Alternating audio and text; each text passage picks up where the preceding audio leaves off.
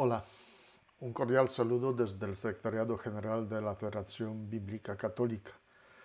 Dentro de nuestro proceso de preparación para la décima Asamblea Plenaria, estamos analizando, conociendo la Federación eh, por dentro.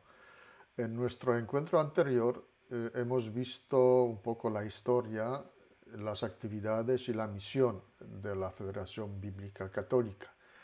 En este segundo video eh, analizaremos la estructura interna de la federación, hablaremos de su administración. Y como la vez anterior, también ahora nos serviremos de un esquema. En este esquema tenemos la estructura organizativa, la estructura administrativa de la Federación Bíblica Católica. El órgano supremo de gobierno en la Federación Bíblica Católica es la Asamblea Plenaria, celebrada cada seis años. Participan en la Asamblea Plenaria los delegados de todas las instituciones miembro de la Federación Bíblica Católica. En la Asamblea Plenaria, mediante votación, se elige al Comité Ejecutivo. El Comité Ejecutivo está compuesto de un representante de miembros plenos de cada región, son entonces siete representantes de los miembros plenos, después tres representantes de todos los miembros asociados y cuatro miembros ex oficio. Esos miembros ex oficio son el presidente de la federación, el presidente del consejo de administración, el tesorero y el delegado del Vaticano. El comité ejecutivo elige y nombra a a los miembros del Consejo de Administración que se encarga de los asuntos administrativos, tanto financieros como legales. También el Comité Ejecutivo elige y propone para su nombramiento al Vaticano a un prelado que desempeñará la función del presidente de la Federación. El mandato del presidente es de seis años, independiente de la Asamblea Plenaria.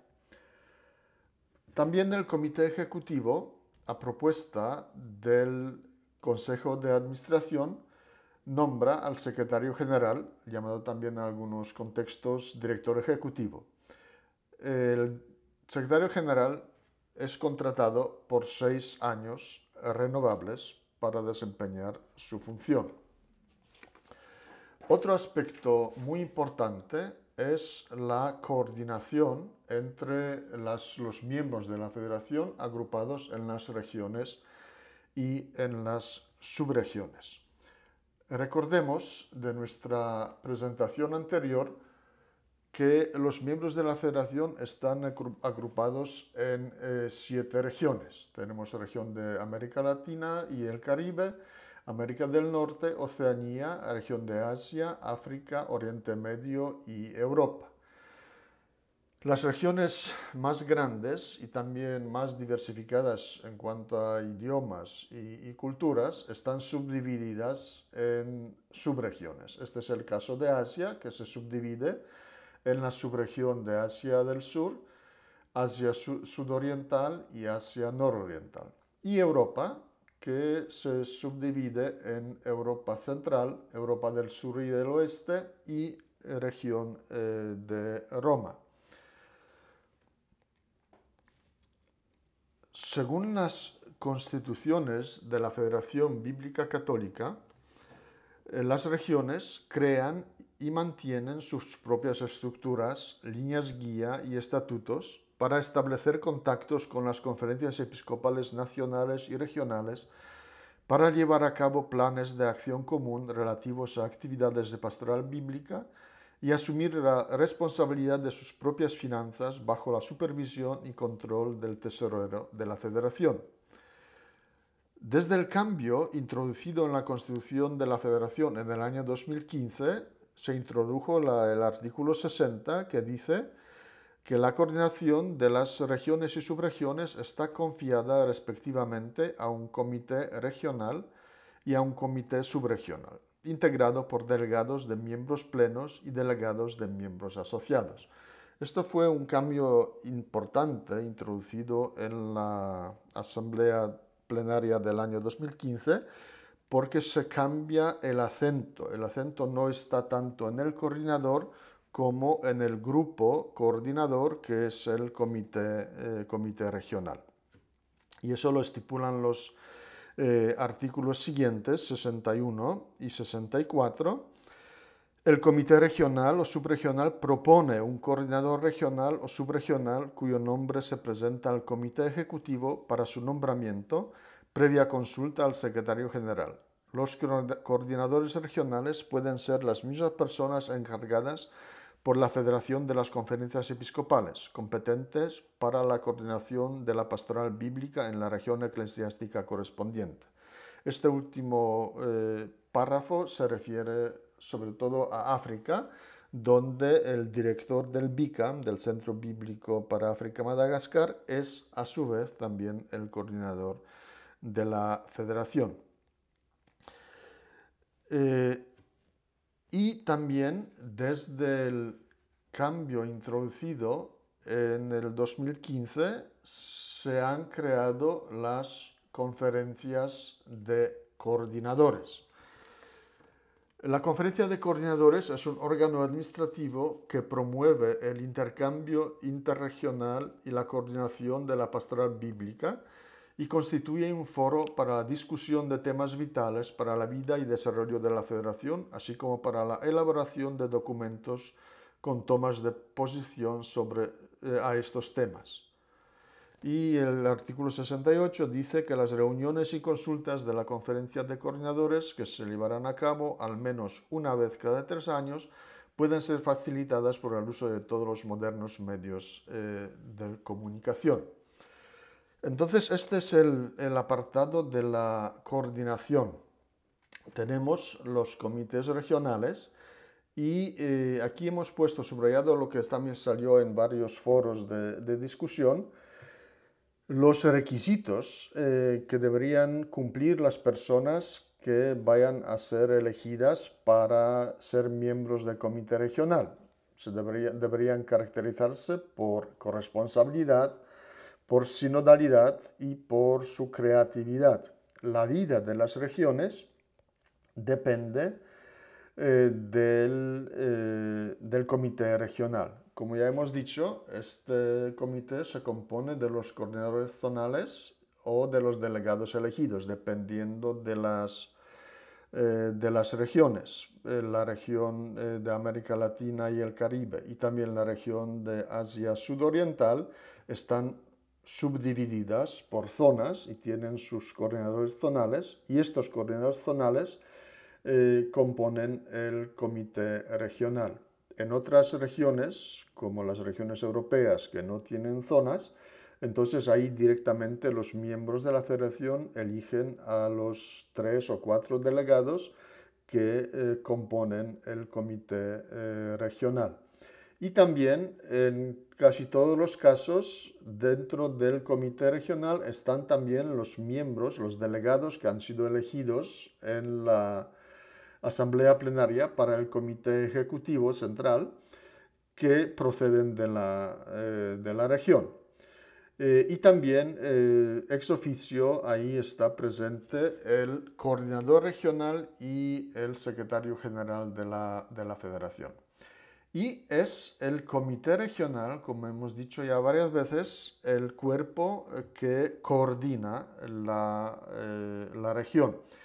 Y para la ejecución de esta, de esta coordinación, el comité regional eh, lleva el proceso de elección y propone al comité ejecutivo para su nombramiento al coordinador regional. Igual, esta persona que va a ser elegida como coordinador regional, como dicen las constituciones, debe ser eh, delegado de una de las instituciones miembro de la federación, tiene que tener cierta experiencia eh, de actividades de trabajo dentro de la formación, de la federación, eh, debe tener, contar con el apoyo institucional, porque desde el año 2015 y antes incluso, la federación ya no tiene oficinas eh, físicas, eh, entonces estamos usando la estructura eh, logística de las instituciones miembro. Por eso es tan importante también que el coordinador sea miembro respaldado por una, una institución miembro. Obviamente esta persona tiene que caracterizarse con una actitud dialogante para llevar el diálogo dentro del comité regional, con el secretario general, con los miembros de la federación, tiene que tener experiencia y talante para trabajar en equipo eh, con un espíritu de sinodalidad y eh, corresponsabilidad. Este, en su totalidad, entonces, es el, el, tema de la coordinación de la Federación Bíblica Católica, de su estructura administrativa. Para el final, no menos importante, eh, hemos dejado el apartado de las finanzas, de las cuales ya hemos hablado también eh, en, nuestra sesión anterior. Hemos dicho que la financiación eh, de la federación eh, se lleva sobre todo con los aportes de los miembros, cada institución miembro paga cuota de miembros, pero estas cuotas de miembros pagadas por las instituciones afiliadas cubren el 20% del presupuesto anual de la federación. El resto eh, se compone de proyectos presentados a las agencias que apoyan las actividades de la federación y de los miembros de la federación. Y recientemente hemos creado también eh, una institución en Estados Unidos llamada Friends of the CBF, los amigos de la Federación eh, Bíblica Católica. Toda esta eh, sección de finanzas está bajo la administración del Consejo de Administración y el ejecutor de todas las o administrador de los bienes de la federación es el secretario general que trabaja en estrecha cooperación eh, bajo el mandato también del Consejo de Administración. El apoyo de las agencias católicas que nos apoyan con sus eh, donaciones, con sus, eh, su soporte financiero, podemos desarrollar las actividades de la federación. Se imaginarán entonces que es muy importante para que entre todos los miembros de la federación nos preocupemos eh, por las finanzas de la federación eh, y que promovamos tanto esta institución de los amigos de la Federación Bíblica Católica para eh, conseguir benefactores, personas que con sus donaciones nos contribuyan para que podamos llevar nuestra, adelante nuestra actividad y también de promover las actividades de la federación a través de nuestra página web estamos presentando diversas actividades eh, que desarrollan los miembros de la federación.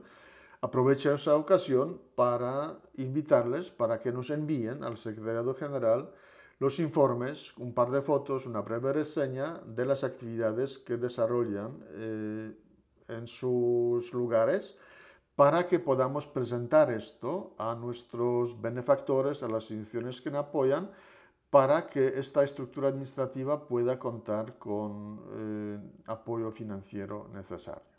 Como ven, la Federación Bíblica Católica tiene una estructura eh, sinodal. Eh, tenemos amplia participación de laicos, de religiosos, religiosas, de obispos. Todos trabajamos conjuntamente y ojalá este espíritu eh, se mantenga y podamos desarrollar las actividades que llevamos adelante en la Federación Bíblica Católica para el bien de la, eh, de la Iglesia. Eh, basta decir, para terminar, que de momento nuestras oficinas centrales se encuentran todavía en Alemania, pero estamos finalizando el proceso de traslado a Roma para funcionar bajo o dentro del marco jurídico del, Vaticano. estando en el centro de la Iglesia Católica, que es la ciudad de Roma, y también contando con el apoyo más directo del, del Vaticano y funcionando bajo su estructura administrativa. Así se presenta la estructura interna de la Federación Bíblica Católica. Espero que esta presentación les ayude a tener mejor conocimiento de la federación y también eh, más criterios a la hora de elegir a los nuevos cargos administrativos, sean estos los coordinadores zonales y regionales que vamos a elegir fuera de la Asamblea o sean estos los miembros del comité ejecutivo elegidos por los delegados de las instituciones miembro eh, reunidos en la Asamblea Plenaria. Muchas gracias y hasta luego.